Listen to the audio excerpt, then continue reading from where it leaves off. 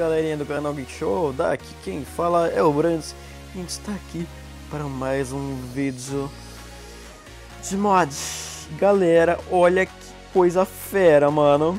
Tem uma espada e um arco e flecha e galera, o mod de hoje é o Dual Wand. E o que, que se baseia o Dual Wand? É, você pode ter duas mãos, galera, e eu achei muito fera, galera. Porque, tipo, você pode ficar com arco numa mão, espada na outra. E, tipo, como que ele funciona, galera? Como você está vendo, o primeiro slot é minha primeira mãozinha e o segundo slot é a espada. Então eu posso mudar, galera, olha. Eu posso mudar qualquer coisa aqui, ó. Posso colocar um isqueiro, e na primeira, eu vou ficar com o isqueiro na segunda e na primeira mão irei ficar com o arco, galera. Então, pessoal, é, o mod de hoje foi esse, um mod rapidamente rápido. É, eu não precisei de muito lugar para mostrar ele.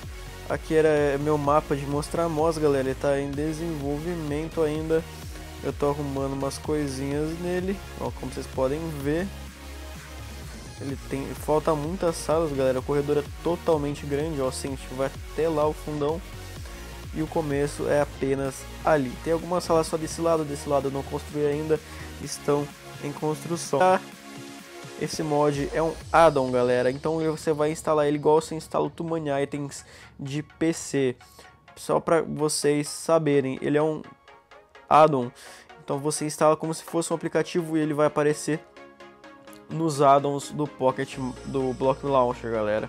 Então falou, o vídeo de hoje foi esse. Só queria dar essa palhinha aqui para vocês não se perderem, tentarem colocar ele como é, um mod script, galera. Então falou, o vídeo de hoje foi esse. Até a próxima. Fiquem bem.